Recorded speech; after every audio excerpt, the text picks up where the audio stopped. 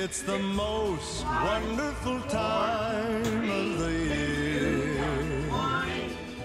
With the kids jingle belling and everyone telling you be of good cheer. It's the most wonderful time of the year. It's the hap- happiest season of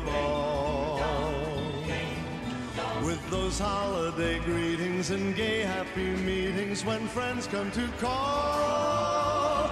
It's the happiest season of all. There'll be parties for hosting, marshmallows for toasting, and caroling out in the snow. There'll be scary ghost stories and tales of the glories of Christmases long, long ago.